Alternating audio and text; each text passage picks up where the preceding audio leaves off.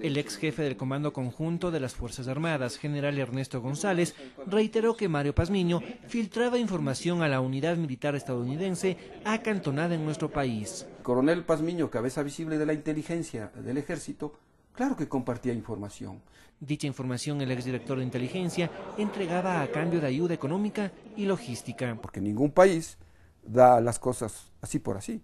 Esta versión coincide con la que el gobierno presentó en el año 2008 a través de una investigación, la cual dio como resultado la baja del ejército de Pazmiño. Había la presunción de que el ex coronel también entregaba información a la CIA. Era lógico que se sembraran preocupaciones, cuestionamientos y dudas con respecto al coronel Pazmiño. Este manejo discrecional de información es confirmado también por el informe de una comisión especial, Parte del documento se refiere al ataque del ejército colombiano a Angostura en territorio nacional, hecho que se produjo el 1 de marzo de 2008. Durante el día, el coronel Mario Pazmiño maneja a discreción la información que va recibiendo y no comunica a sus superiores. En dicho ataque fallecieron 21 personas, entre ellas el número 2 de las FARC, Raúl Reyes, y el ecuatoriano Franklin Aizalia.